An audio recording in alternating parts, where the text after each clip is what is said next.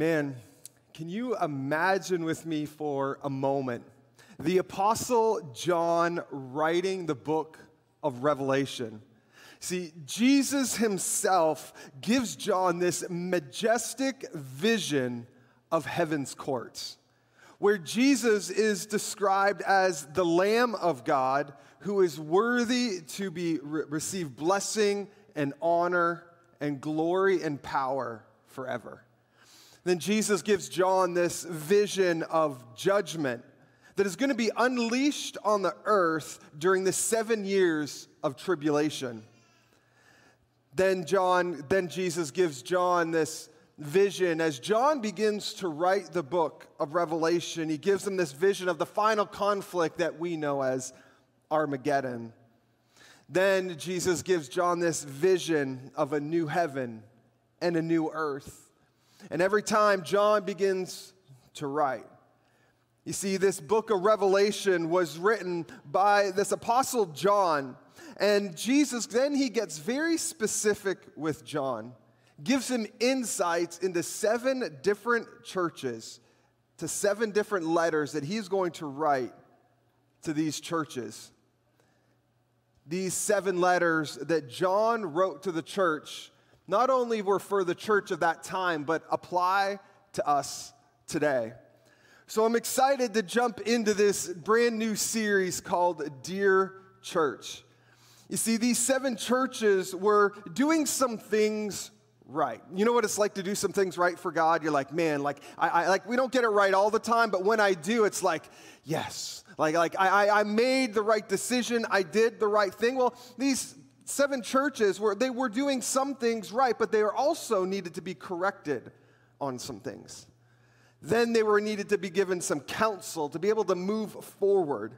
So today, the title of my message is The Forgetful Church the Forgetful Church. And again, if you're visiting with us, my name's Mike. My wife Susie and I are the lead pastors. Just want to welcome you here on this Labor Day Sunday. Make sure to take that Connect card, take it out to the hub, and get your free gift. But before we jump into that first letter, I want to give you a little bit of a background on Revelation and the Apostle John.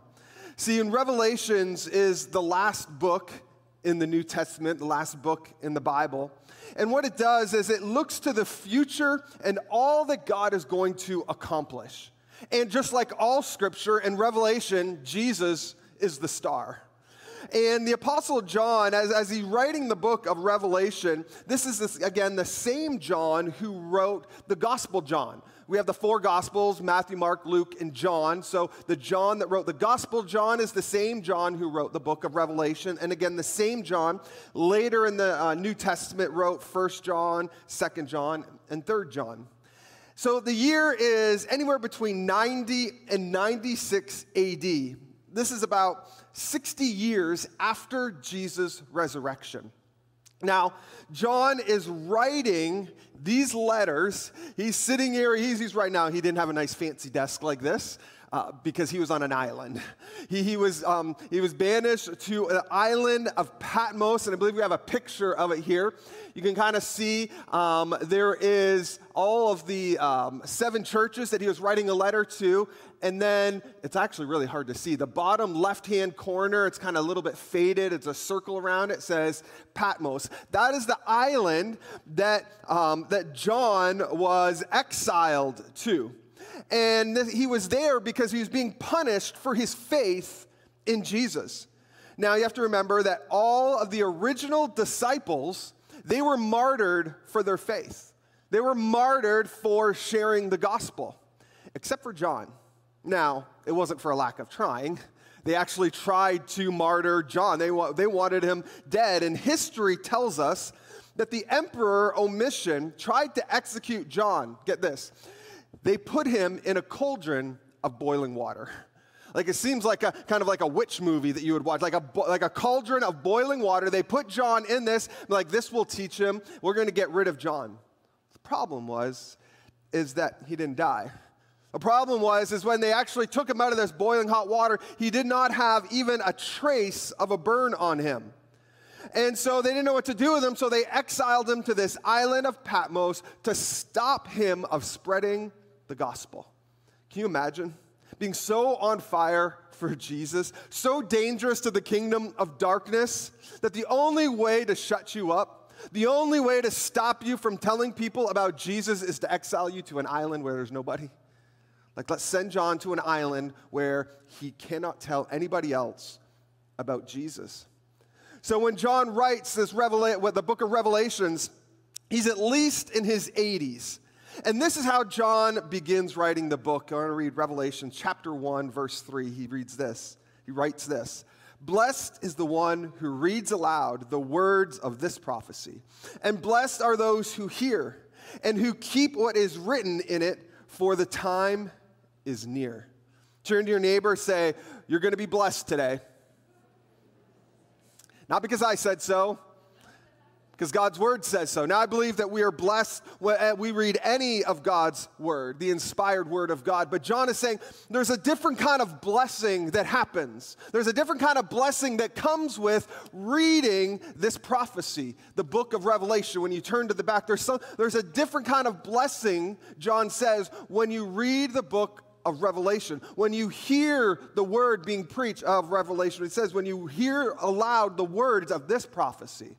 There's a different blessing that comes with it. Revelation is filled with imagery that could cause one to be frightened or even scared.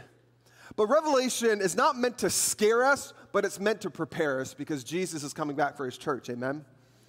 So it's not meant to be scary. It's not to be like, oh man, like I'm kind of worried. Like, no, no, it's, it's meant to prepare us. Because here's the, here's the thing is we have some inside information on how it all ends right? Have you heard the term insider trading before? It's a term that applies to stock traders that are buying and selling stocks on the stock market, and they illegally acquire some information, say regarding a company, usually a Fortune 500 company, and say they get some information that, you know, for whatever reason, that they're going to go bankrupt and this stock trader gets the information before he's supposed to have it, and then he goes and he shorts the stock so when they go bankrupt, their stock plunges, he's gonna, you know, make millions. It's an illegal way of getting some insider information. He knows what's gonna happen before it happens. We have some insider information, except it's not illegal to have yet. We have God's Word. We can read and find out what happens at the end, and I'll give you a little tip uh, we win. Jesus wins. Amen? So, the goal of these letters that John is writing to these seven churches was to challenge, to encourage, but also to warn. And in these letters, Jesus reveals, he reveals what he loves, he reveals what he hates, what his standards are, and what he expects from us as believers and the church. Because God is the same yesterday, today, and forever. Amen, church? So his standards, his priorities, his expectations some 2,000 years ago when John wrote the book of Revelation is the same standards, the same expectations for us today. Now, most of the seven letters that were written to these seven churches have three parts to them. Not all the letters, but most of them. First, they'll have a commendation. It's like, attaboy, good job. This is what you're doing well, church. Like, hey, you're, you're nailing this part of a, being a believer. You're nailing this part of, of being a church. Good job. But then there's the correction part of, hey, this is what you need to change. And then some counsel on this is how you need to change it. It's a pretty loving way to approach. Would you agree? So, but not in today's culture. Today's culture would disagree with you. Our culture says correction is hate. That if you disagree with me and how I live my life, my decisions, well, you're just a hater. Culture says to love me, you must go along with my behavior, my point of view, even my definition of truth, even if it's rooted in delusions, lies, and wickedness. But, church, that's not love and it's certainly not biblical. Going along with someone's delusion, watching them drive off of a moral or spiritual cliff, is not love. Love corrects, love counsels. And this is exactly what Jesus is doing through these seven letters to these seven churches. So I want to start off with Revelation chapter 1, verse 20, and I'll, and I'll explain it a little bit because here, Jesus, he's already given John this vision. And in, in verse 20, Jesus is actually explaining this vision to him. It says this The mystery of the seven stars that you saw in my right hand and the seven golden lampstands is this. The seven stars are the angels of the seven churches and the seven lampstands are the seven churches. So we have these lampstands here, and these lampstands represent the seven churches. There's a golden lampstand, each one represents the church. Now, this word angel here, I want to I wanna talk about this for a second. Um, this word angel, actually, when you, uh, when you translate it from the original Greek, it could be interchanged with the word messenger. And it says the stars are the angels, or could be translated messenger. Now, these messengers or an- these messengers could actually be actual angels who are watching over the churches, but many scholars believe that it's actually more likely that these angels, that these are actually messengers, are pastors and leaders of the churches because it says the seven stars are the angels of the seven churches. Again, most scholars believe that these actually should be interpreted messengers, and these messengers are pastors and leaders of the churches. And then we have the lampstand, which represents the church. The churches are compared to a lampstand because we're called to carry the light of the world. These, these churches are represented, these are these lampstands, which we're called as believers, as the church, like this should be us, carrying the light of the world. Jesus said, You are the light of the world. Like we are called to be light in the darkness. So, so John was, he, Jesus here, when he's giving John this explanation, saying, like, hey, these lampstands, where, where you have a light, you kind of, you know, you don't hide the light, you put it on a stand so, so it can kind of radiate as far as possible. He's like, these should be the churches. This, my light, should be radiating from the church. So we have the stars, we have the churches, these lampstands that represent the church. So, this sets up the first letter that was written to the church in Ephesus. Now, this church in Ephesus, Timothy is actually the pastor of the church in Ephesus. Now, the, this Timothy is the Timothy that Paul had mentored. Paul actually wrote two letters to Timothy as the pastor at these churches. We have it in the New Testament as two of the books, 1st and 2nd Timothy. So let's jump into the letter that John writes to the church in Ephesus. In Revelation chapter 2, verses 2 to 3 says this I know your works, your toil, and your patient endurance, and how you cannot bear with those who are evil, but have tested those who call themselves apostles and are not, and found them to be false. I know you are enduring patiently and bearing up or labored for my name's sake and you have not grown weary. So this letter, John starts with accommodation, like good job, like, you're do, this is what you're doing well. I know your works, your toil, and you're patiently enduring. He's saying, hey, you've worked hard. Like, like I see that. You haven't been lazy. You haven't been sitting around doing nothing. Like you guys have been doing some things. You've been getting some things done for the kingdom of God, and you've been patient. You've resisted sin. You've discerned and rejected false prophets. Like, good job. Like, there's false prophets out there. And you've been able to discern those that are false prophets. Good job. You haven't let sin come into the church. Good job. There are good things that you're doing. Now, let's talk about for a minute the city of Ephesus. Uh, I have another map, uh, and it kind of shows the seven modern day, um, the seven churches um, on the left, and on the right, it kind of gives you, you know, um, Ephesus is in modern day Turkey, And the city of Ephesus was the fourth largest city in the known world. And it's um, still called Ephesus today. I actually looked it up, and it's still called Ephesus, but it's actually just in ruins. and again, it's in modern day Turkey. And Ephesus had major trade routes to kind of just see it's just crumbles and it's in ruins.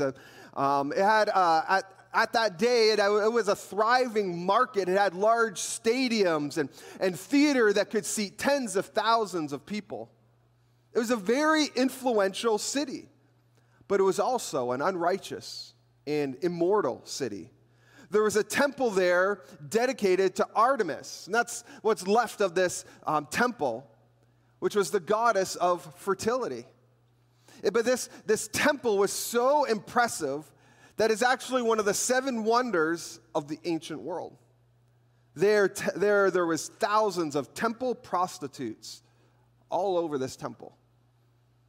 On top of that, we had sorcery and witchcraft, demonic things being practiced there. It was a stronghold for Satan. Yet, with all of that opposition, the church was still able to keep evil out. And Jesus said, Great job. Good job. See, Jesus is aware of your labor. He sees what you do, he, he notices everything that you do for the kingdom of God.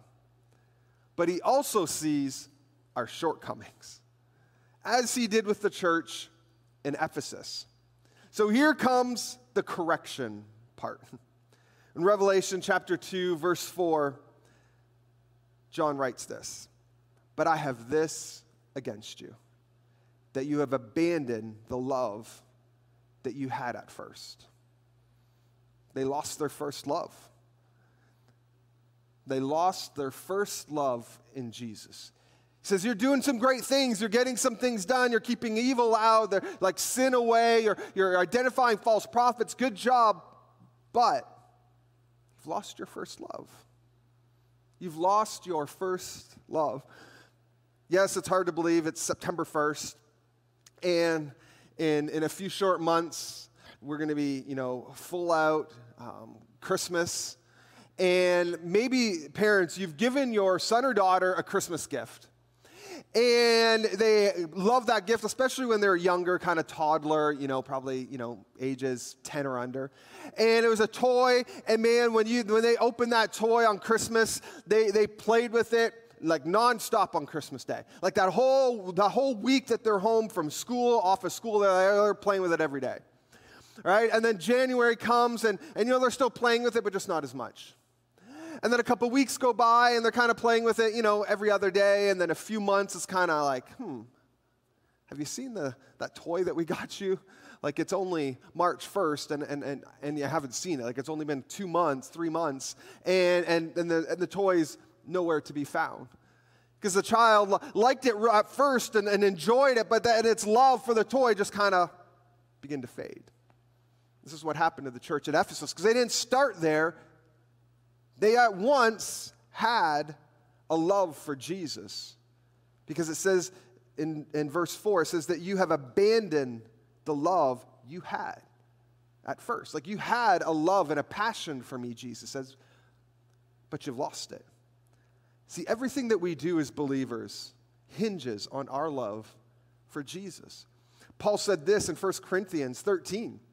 He says, these, these three things remain faith, hope, and love. But the greatest of these is love. See, we can do all these things. We, we, we can work, we can toil, um, we can speak eloquently, we can serve tirelessly, we can do all these things, but without love, it doesn't mean anything. Our love for Jesus needs to be the most important thing. The Ephesian church, they were doing great things, but they had this one serious flaw that they'd abandon their first love. They cared more about rules than they did relationship. They're more worried about following the rules of keeping sin out, identifying false prophets, you know, the, the witch and sorceries and everything that's going on. We're going to follow these rules. We're going to make sure. And, and like I said, like those were good things that they were doing, but they abandoned their love for Jesus. And I pray that it's never said of Mohawk Valley Church that we've lost our first love.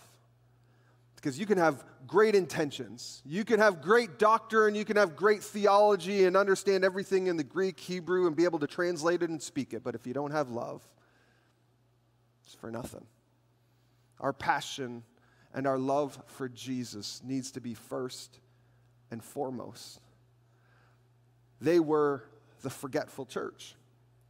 See, sometimes we can get so caught up and being busy doing busy serving that we can abandon and forget our first love. And that's what it's all about a passion and a love for Jesus. Our labor for Jesus should never eclipse our love for Him. What's the first and greatest commandment? Love the Lord your God with all your heart, with all your soul, and with all your mind. Love the Lord your God. So, John is writing this letter. He goes through the commendation, saying, Hey, good job. Then he goes through the correction, like, Hey, this is what you've done wrong. But then he begins to write the counsel. In Revelation chapter 2, verse 5, John writes, Remember, therefore, from where you have fallen.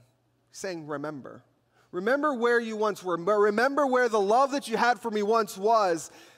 Then repent and do the works you did at first. If not, hmm, I will come to you and remove your lampstand from its place unless you repent.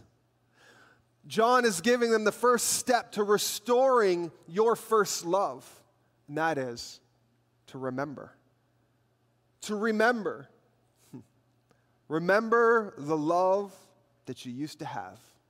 Remember the love that used to burn for me. Moms and dads, husbands and wives, do you remember that first date?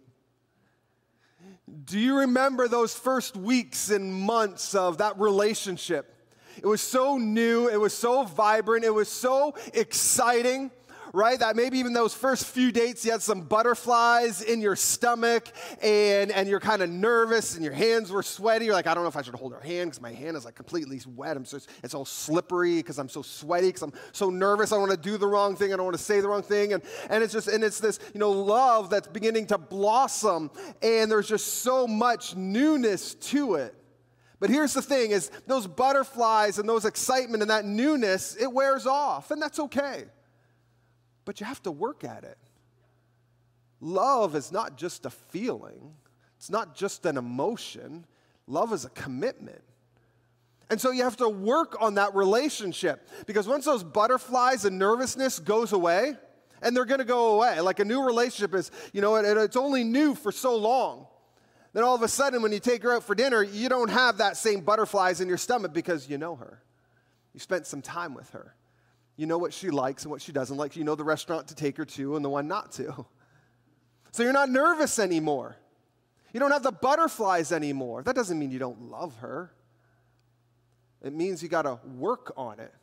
You have to put some work into that relationship, or, because if you don't, it will begin to fade. The same is true with our relationship with Jesus over time, the excitement, the joy of being set free, delivered from your sin, can begin to fade. And we can forget about the feeling of being with Jesus, the feeling of having your sins forgiven, that moment when you prayed that prayer and He came into your life and set you free, that feeling will fade. But it's going to take some work to continue to foster that relationship between you and the Lord. Do you remember what it was like when you first loved Jesus? Do you remember the thrill? Do you remember the excitement of having your sins forgiven? where you couldn't wait to worship, where you couldn't wait to pray, where you couldn't wait to get into God's word and, and you had a passion to go to church every week. And it was just, it was new, it was exciting. Jesus is saying, get back there. Remember what it was like. Remember what it, what it was like to have your sins, your life set free from sin and bondage. But that takes work. Saying remember, but that's going to take some work. He doesn't stop, though, with remember. The second step to restoring your first love is repent. Sorry, the second step is to repent. Worship team, you can go ahead and come back. Repent means to change direction, to go a different way. See, this letter to Ephesus was challenging them to change course. Like, hey, there's some correction. There's some things that you need to do. You need to change course. They were headed the wrong way, so you need to turn around. Maybe you're here, that, that's you today. You've forgotten your first love. So let me ask you do you need to repent? Because here's the thing is Satan is a master at creating distractions. He'll distract you with work, your job, your career, the hours. He'll distract you with school, the assignments, sports, the, the, the after school programs, the activities. He'll, he'll distract you, parents, with your kids. He'll distract you. Maybe with your finances. Things are tight or the opposite. Things are great. Got some extra money, kids are out of the house, we're able to go and travel and do a lot more things. He can distract you with money either way. It can be either tight or you can have a lot of it. He can distract you at both ends. He's going to distract you every way that he possibly can. As believers, we need to keep the candle burning. We need to keep it lit. We need to keep it going. And that happens through prayer. It's talking to the Lord. It's talking to Jesus, it's, it's, it's fostering a relationship. Wouldn't be much of a husband if I, all this week, didn't talk to Susie. Oh, we live in the same house. We even work in the same building. But if I didn't talk to her all week, she'd be pretty upset, rightfully so. Prayer is talking to the Lord. We do it through getting in your word, reading God's word, attending church as the body of believers together.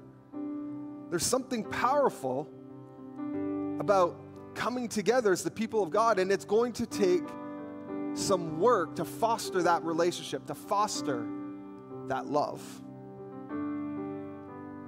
Have you seen an elderly couple? Have you walked into a restaurant before and seen elderly couples sitting there? And you, you can just tell that they've been married for decades. Sitting there and they're holding hands, looking into each other's eyes, and you're like, man, there's some longevity there. There's some history. There's some experience. There's some commitment there. They're still in love. You know, something that just touches my heart when I see the elderly saints of our church that pray and worship like it was yesterday that they gave their life to Jesus. Seeing them raise their hands in adoration of who God is. Think about people like Claire, who's been attending our church. I won't give it away, Claire, because it's been a long time. But man, to see her heart to serve the Lord, to love Jesus like it was yesterday, let me tell you, that encourages me. It excites me to see people like you with a love that it seems like it was yesterday that you that he forgave you of your sins. Something about longevity and a relationship with the Lord. You see, as John was writing this letter,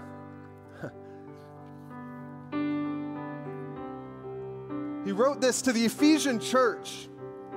And it wasn't just a letter because it was the inspired word of God. Jesus was speaking through John as he writes.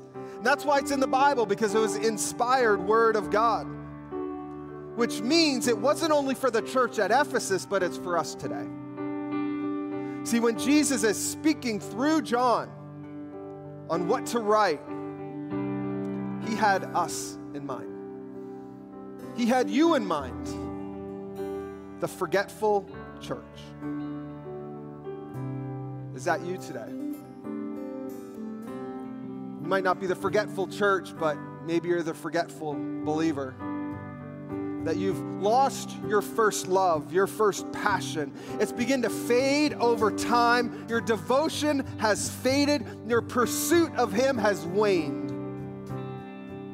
But isn't it amazing that a letter written over 2,000 years ago today still applies to me and to you? So maybe you're here today, and that's you. Your love, your passion for Jesus has waned a little bit, hasn't quite been where it should be. Or maybe you're sitting here and you're like, I've actually never had a relationship with Jesus.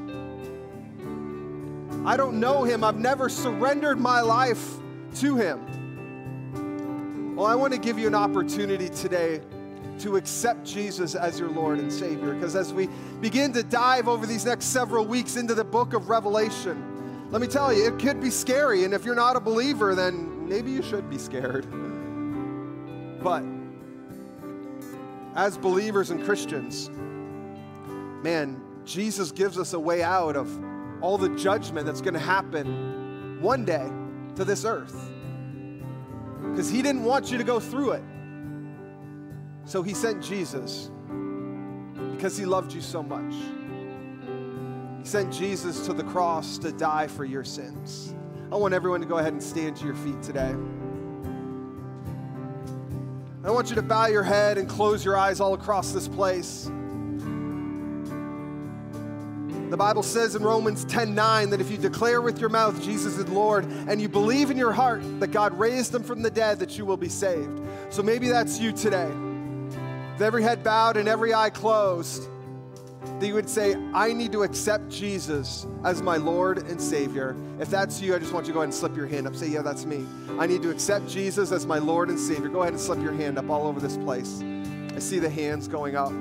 Amen. Amen. I want everybody, you can put your hands down. What I want to do is I want to pray this sinner's prayer, but I want everybody to repeat this prayer after me.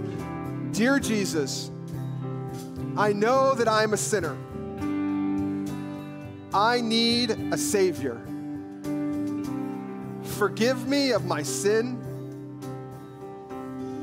Thank you for dying on the cross and rising again.